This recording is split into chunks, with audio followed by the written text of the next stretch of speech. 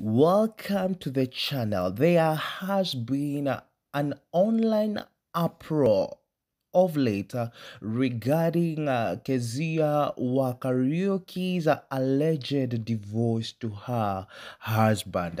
She has not yet addressed the issue directly, but she has spoken uh, for the first time uh, since the online uproar began. She said in a recent social media post, peace is important not only because it makes us feel good and happy, but because it also puts us in the right state of mind so that we can dream, hope, and create value.